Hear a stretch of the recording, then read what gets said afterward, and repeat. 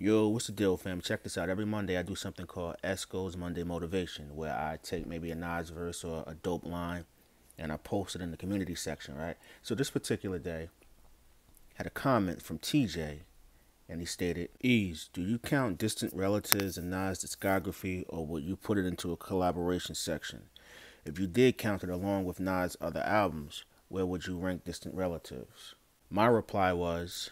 I was on the fence for years about this, but if Drillmatic, Jay's Volume 2, and Roc La Familia, Kanye's My Beautiful Dark Twisted Fantasy are considered in these respective artists' discographies, so is Distant Relatives.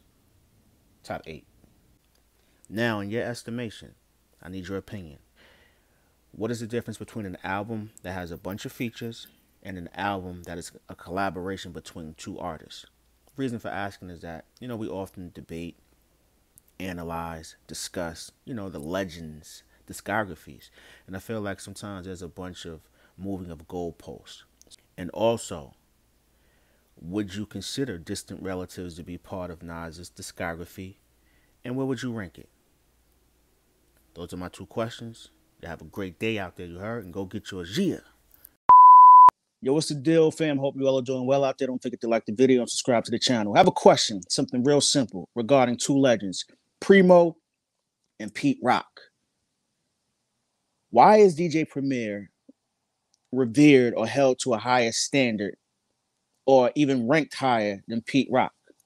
I'm not saying it's right or wrong, but in my estimation, it just seems as though within the culture, he's a bit more revered, right? If you think about their catalogs, not even catalogs, careers. Pete Rock has timeless records. He arguably has the most timeless record in hip hop history, right? What they reminisce off over, they reminisce over you off um 1992 Mecca and the Soul Brother, right? That's 92. Wow, long time ago. Still timeless. Everyone knows that record when it comes on, right? He had a unique sound, which they both do, right? Pete Rock was very progressive in the sense that he didn't um, invent sampling. You know, they went from uh, break beats to Marley Marl coming in with the, the, the stabs or tiny bits of um, chunks of records. But he was progressive, Pete Rock, that is, in the sense of he would take samples from six or seven different records, they all in different keys, and somehow he put them together and they all flowed and it worked musically, all in the same key. I don't know how he did it, but he just made it sound so musical and it was a beautiful thing to listen to, right?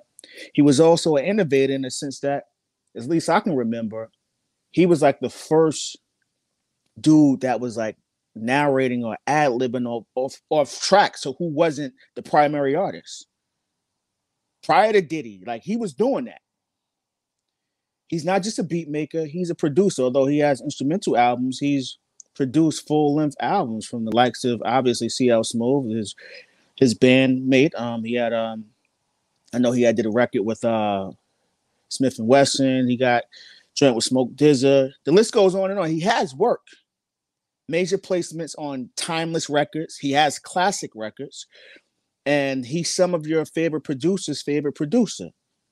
But I'm always asking, why is he not revered in the same sense? Like Primo, to this day, whether uh, old school or new generation, he is welcomed with open arms. Is it because of his personality? That's what he um people gravitate towards him or to him? Or do they just feel as though his music is that much better? It aged well. But that's the question I always ask because these are two pillars from like the time that I fell in love with hip hop and both of them were so creative and it's not their sound isn't played out. They've they have their own unique sound but they still gotten better over time. So the question i'm asking is because i know you're all fans of these individuals too why is primo more revered? Is he better in your estimation?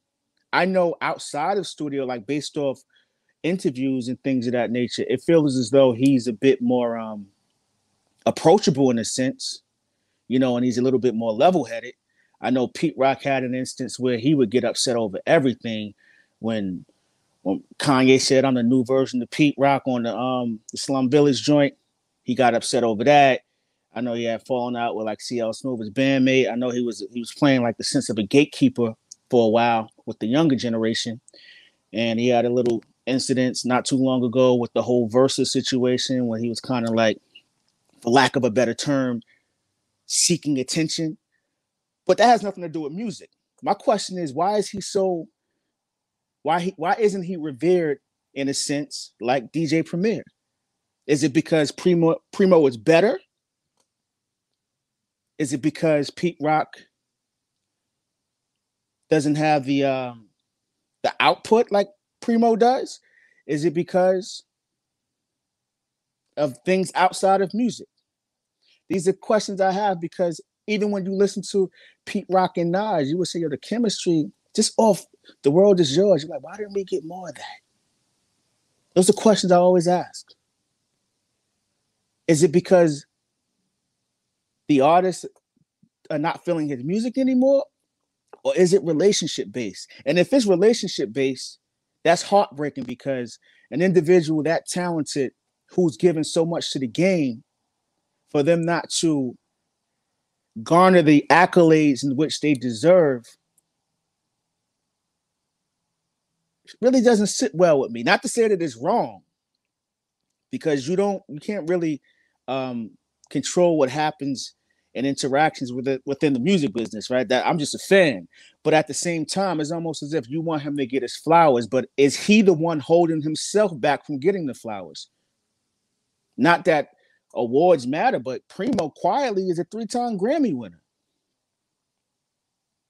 Just from simply being him, he didn't even sell out when he was doing the Christina Aguilera stuff. He still had break beats and all that in there. He kept it primo. When he won the Grammys with a uh, D'Angelo for um Devil's Pie, that was primo.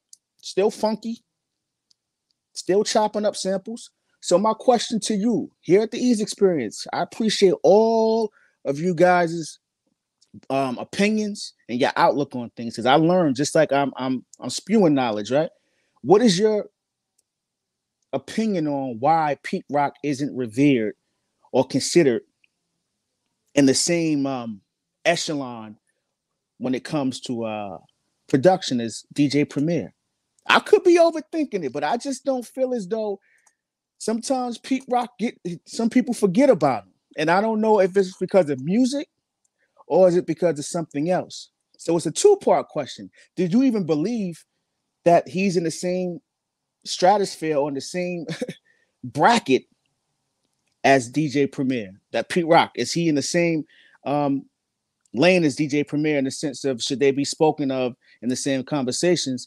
And secondly, why do you feel as though he is not revered in the same way?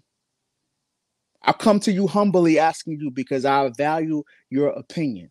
And these are things I think about all the time. I was just listening to One Two Pass It off the D&D All-Stars album with Mad Lion and Dougie Fresh and KRS-One, Smif-N-Wessun, J. Rule.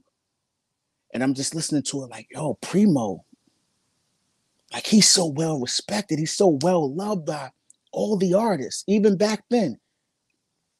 And it continues to this day. Why isn't Pete Rock carried in the same way?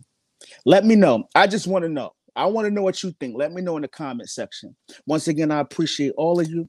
Don't forget to like the video and subscribe to the channel. And as we always state here at the Eeze Experience, go get yours. We out of here. Hey, yo,